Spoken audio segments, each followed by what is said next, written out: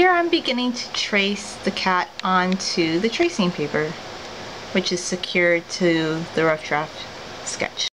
Here I've finished tracing Irina onto the top layer of the tracing paper and I want to take it, the tracing paper off the rough draft drawing and then trace on the back and then transfer it onto the project I'm going to work on.